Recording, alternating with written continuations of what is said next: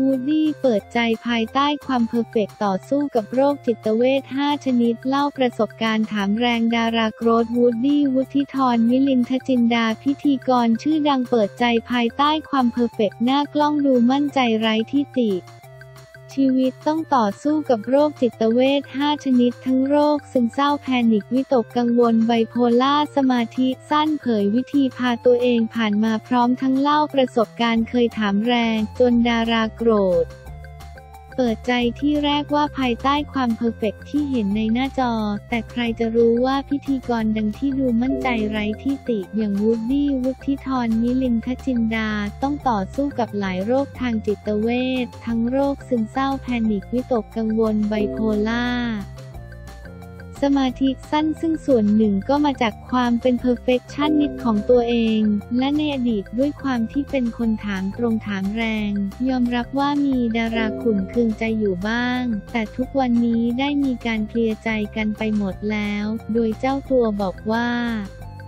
ก็หลังๆ ที่เป็นโรคทางจิตเวชหนึ่งในนั้นก็คือโรควิตกกังวลมันเพิ่งเป็นมาเมื่อไม่นานนี้แหละ คือปัญหาจิตเวชทั้งหมดที่เป็นหมดเลยอะ ซึมเศร้าแพนิควิตกกังวลเป็นไบโพล่าสมาธิสั้นเพราะพี่มารู้อีกที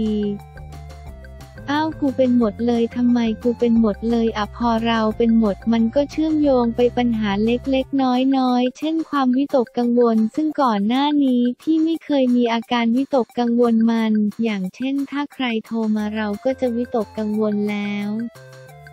ปัญหามาหรือเปล่าวะหรือต้องแก้ปัญหาหรือเปล่าวะ มันเป็นในวัย 40 กว่านี่แหละพี่ก็ต้องอยู่กับมันให้ได้ก่อนขึ้นเวทีก็วิตกกังวลก่อนสัมภาษณ์ก็วิตกกังวล แต่พอ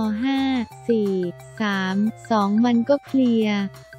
เวลาคนบอกว่าพี่มั่นใจมันก็เป็นหน้าที่ รักษายังไง ทุกวันนี้หลากหลายรูปแบบเลยครับ มีทั้งยามีทั้งปรึกษาหมอต้องถามต้องคุยแล้วต้องคุยต่อเนื่องที่มีหมอหลายท่านด้วยกันแต่ละอาการแต่ละโรคหลายคนก็จะถนัดไม่เหมือนกัน แต่สิ่งที่สำคัญที่สุดพี่ก็จะบำบัดด้วยการฟังตัวเองแล้วก็ดูตัวเองให้ได้ว่าอาการแบบนี้มันเกิดขึ้นจากอะไร อีกอย่างพี่เป็นกังวลกับทุกอย่างที่แก้ไขไม่ได้ เพราะความที่พี่เป็น perfectionist ทุกอย่างต้องเป๊ะตั้งแต่ไหนแต่ไรแล้ว พี่เป็นอย่างนี้มาตั้งแต่เด็กแล้วทำอะไรก็ต้องเป๊ะต้องเป๊ะมันกดดันตัวเอง เพราะไม่เป๊ะก็จะด่าตัวเองเฮ้ยใช้การไม่ได้ แต่พี่ไม่รู้ว่าการที่เราพูดกับตัวเองทุกวันเป็นสิบสิบ ปีมันส่งผลจริง ๆ มันรู้ว่าตัวเองฉันไม่ดีพออันนี้ไม่ดีเลย มันเหมือนมี commentator ประมาณ 10 คนคอยพูดใส่ตัวเองที่จะต้องมีสติมากขึ้นในทุกๆนาทีเลยนะ สมมุติว่ามีเหตุการณ์บางอย่างเกิดขึ้น สมมุติว่าพี่มาสัมภาษณ์ late พี่ก็จะมองว่าเฮ้ยทำไม late จังเลย พี่ก็จะว่าตัวเองว่ามา late แย่จังแย่มากอย่างนี้ พี่ก็จะจับได้ว่าถ้าพี่คิดอย่างนี้ พี่ก็จะไม่คิดว่าพี่มาสายพี่ก็จะไม่ว่าตัวเอง แล้วมันก็จะดีขึ้นเรื่อยๆ ปัญหาทางจิตเวชถ้าเราจับตัวเองได้แล้ว เรามีค่อยๆ มีสติพิจารณา คือทั้งหมดทั้งปวงมันคือความคิดหรือฟุ้งเว้นแต่บางคนเป็นกรรมพันธุ์หรือมีปัญหาทางเคมี อันนั้นก็ต้องพึ่งยาร้อยเปอร์เซนต์แต่ของที่สมาธิช่วยได้มาก เพราะถ้าพี่ไม่ทำสมาธิมันจะยุ่งหยิงไปหมดสมองพี่หัวพี่มันจะเหมือนสี่แยกอโศกโหอะไรวิ่งเต็มไปหมดเลย จริง ๆ มนุษย์คนมันก็เป็นอย่างนั้นแหละ เวลาที่เราคุยกันอยู่มันก็คงจะวิ่งแล่นเป็นเหมือนกัน แต่ของพี่มันเยอะมากพี่ต้องจัดเรียงกังวลรอก่อนตั้งใจพูดก่อนไม่ต้องรีบคำถามต่อไปเดี๋ยวค่อยว่ากันพี่ก็จะแยกแยะพี่ว่าท้าทายดีแฮปปี้ ปัญหาพวกนี้พี่ว่าทำไมต้องเป็นพี่ด้วย ทำไมต้องเกิดขึ้นตรงนี้ ทำไมต้องเกิดปัญหากับเราพี่ก็คิดนะที่เกิดขึ้นแล้วพี่ศึกษามันแล้วค่อยๆหาทางออกแล้วเมื่อออกมาได้ก็ต้องแบ่งปัน พอพี่เข้ามาเจอเหตุการณ์นี้ ที่รู้เลยว่าประเทศนี้ค่อนประเทศเป็นหมด และบางคนอาจจะไม่รู้ตัวและไม่พบแพทย์ บางคนไม่รักษาจนมันลามไป คือนี่แหละ คือสิ่งที่พี่สนใจมากตอนนี้ก็คือปัญหาจิตเวชต่างๆให้กับพี่น้องชาวไทยและพี่กำลังทำรีเสิร์ชวิจัยชิ้นใหญ่ด้วยการเอาตัวพี่เข้าไปทำวิจัยตัวนี้ ปีสองปีที่ผ่านมาพี่ทำทุกอย่างวิจัยตัวเองว่ามันเกิดขึ้นจากอะไร ที่ต้องรู้ตัวเองข้อมูลบางช่วงพี่ก็สามารถแบ่งปันได้ อย่างล่าสุดแพนิคที่เป็นมาสองปีมันก็ดีขึ้นแล้วมันก็เกือบหาย พอเวลามันมาพี่ก็จะหาวิธีจดเลยว่าทำยังไงให้มันหยุด A B C D ที่มาเจอวิธีใหม่ในการหายใจมันเป็นสูตรสำหรับพี่เรียกว่าดูห้าอย่างฟังห้าอย่าง ระหว่างที่เราแพนิคอยู่จิตมันฟุ้งมาก พี่ก็จะดูห้าอย่างเช่น กระเป๋าแก้วโน้ตบุ๊กถ้วยกระดาษแล้วก็ตามด้วยห้าเสียงเช่น เสียงแอร์ เสียงมอเตอร์ไซค์เสียงจากที่เราสัมภาษณ์ เสียงหายใจไปจับจิตมันไม่ฟุ้งอันนี้มันปรากฏว่า work นะพี่ตื่นเต้นมากที่จะแบ่งปันให้คนเป็นแพนิคแล้วเขาไม่หายสักที อันนี้มันคือวิธีที่ทำให้หลุดออกจากแพนิคภายใน 3 นาที แต่พี่ก็ยังวิจัยอยู่นะ คือพี่จะต้องวิจัยสักปีหนึ่งแล้ว ถ้ามัน work พี่ก็จะแบ่งปันต่อ คือพี่คุยกับทีมงานไว้ว่าพี่สนใจมากที่จะทำคอนเทนต์เกี่ยวกับจิตเวช เพราะมันไม่มีคนพูดเรื่องนี้แล้วก็เข้าถึงได้ง่าย พอเราทำตรงนี้มันกลายเป็นว่าสินค้าที่เราทำอย่างวันโดมันเกี่ยวข้องกับลำไส้ที่ไม่ดีเกี่ยวข้องกับระบบประสาท แล้วหลายคนที่มีปัญหาทางจิตเวช มันไม่ได้มาจากแค่การใช้ชีวิตมันมาจากลำไส้ที่ไม่ดี พี่เลยมองว่าทุกอย่างที่พี่ทำมันโยงกันหมด พี่ก็เหนื่อยนะในวงการบันเทิงบางคนเขาก็เป็นอย่างเดียว แต่พี่เป็นหมดแต่พี่ก็ไม่เคยพูดกับใครรู้สึกว่าพี่จะพูดที่นี่ที่แรก พออยู่หน้าจอ perfect คนเลยไม่รู้ คนรอบข้างแนะนำให้พักงานไปหนึ่งปีเพื่อที่จะทบทวน แต่อย่างล่าสุดพี่ก็ไปอยู่เชียงใหม่มาหนึ่งเดือนออกไปจากกรุงเทพมหานครกลับไปสู่ธรรมชาติมันก็ดีขึ้น เพราะตื่นมาพี่ไม่ได้มีตารางที่ยุ่งเหยิง ที่ไม่ต้องเข้าประชุมพี่ก็แค่เข้าประชุมออนไลน์ พี่ก็ยังถ่ายคอนเทนต์อยู่แต่ว่ามันไม่เครียด พี่ก็เจอแล้วว่ามันคือไลฟ์สไตล์ในการทำงานที่มันทำให้เครียด ก็ค่อยๆ แก้ทำยังไงที่จะเข้าออฟฟิศน้อยลงทำยังไงที่จะให้คนอื่นมาเครียดแทนพี่ ส่วนใหญ่ถ้าพี่จะแก้ปัญหาพี่ถึงจะเครียด พี่ก็เลยจะต้องจ้างคนที่แก้ปัญหาแทนพี่แล้วก็ให้ดูผลประกอบการใหม่ประมาณนี้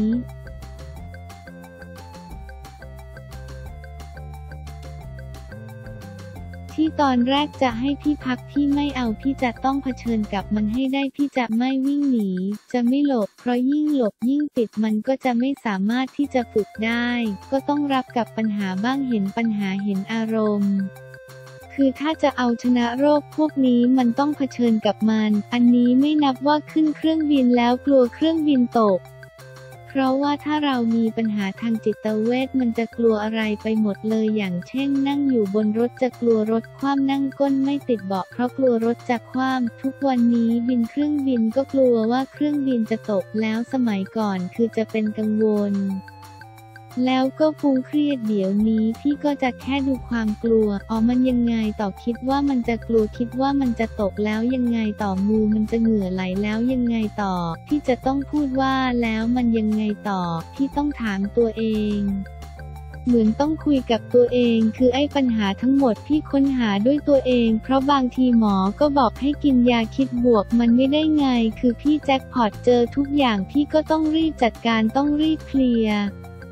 ถ้าพี่ปล่อยให้มันเรื้อรังพี่คงไม่ได้มานั่งคุยตรงนี้ ป่านนี้พี่คงไปอยู่ที่ไหนห่างไกลผู้คนและไม่คุยกับผู้คนอีกเลย